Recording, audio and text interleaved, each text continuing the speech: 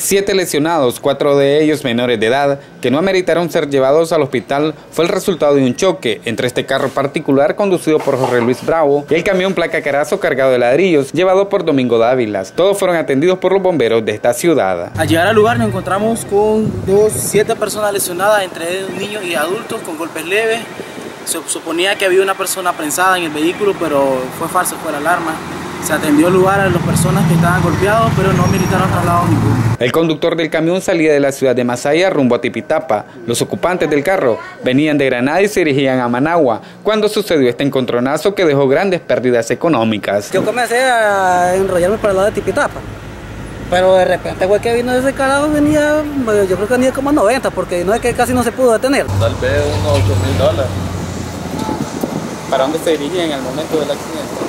Para el hospital militar a consulta.